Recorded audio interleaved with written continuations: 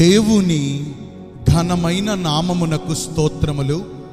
ఈ వాగ్దానమును వింటున్న మీకందరికీ మన ప్రభువును ప్రియ రక్షకుడైన యేసుక్రీస్తు నామములో శుభములు మా హృదయపూర్వకమైన వందనములు. ఈరోజు మీ కొరకైన దేవుని వాగ్దానము నిర్గమ కాండము పదిహేనవ అధ్యాయము ఇరవై ఆరవ వచనము.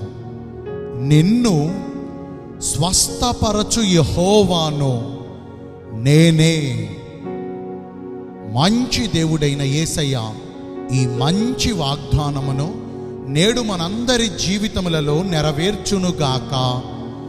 మేన్ ఈ వాగ్దానాన్ని మనము పరిశీలిస్తే మన పరమ తండ్రి అయిన యహోవా దేవుడు దయాళుడు.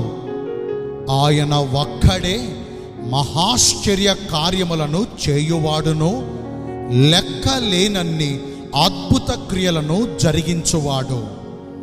మన దేవుడైన యహోవా వాక్కును శ్రద్ధగా ఆలకించి ఆయన దృష్టికి న్యాయమైనవి జరిగించచ్చు ఆయన చిత్తమునకు పూర్తిగా లోబడి ఆయన ఆజ్ఞలకు విధేయులమై ఆయన కట్టడలన్నిటినీ మన పూర్ణ హృదయముతోనూ మన పూర్ణ ఆత్మతోనూ అనుసరించి నడుచుకొనుచు యథార్థ హృదయముతో సత్యమును అనుసరించి నడుచుకొనుచు సమస్త విషయాల్లో ఆయనకు అనుకూలముగా ప్రవర్తించుచు దేవుని దృష్టికి ఇష్టమైన ప్రవర్తన కలిగి జీవించుచు యహోవా దేవుని యందు భయభక్తులు కలిగి చెడుతనమును విసర్జించి పరిశుద్ధమైన ప్రవర్తన కలిగి జీవించుచు ఆయనకు నిజముగా మొర్రపెట్టినప్పుడు పరమ వాయిద్యుడైన దేవుడు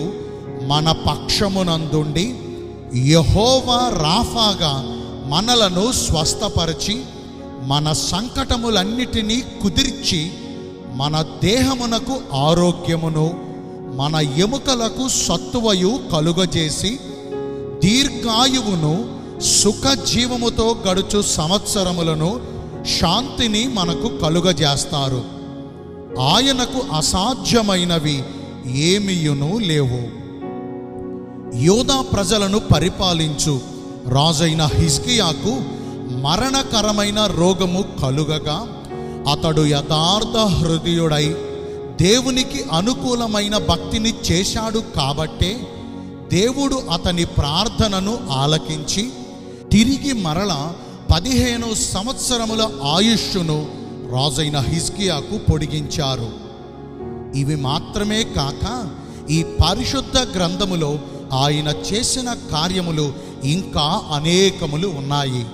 అయితే వాటన్నిటినీ వివరించి రాసిన ఎడల అలా రాయబడిన గ్రంథములు పెట్టుటకు ఈ భూలోకమైనను చాలదు.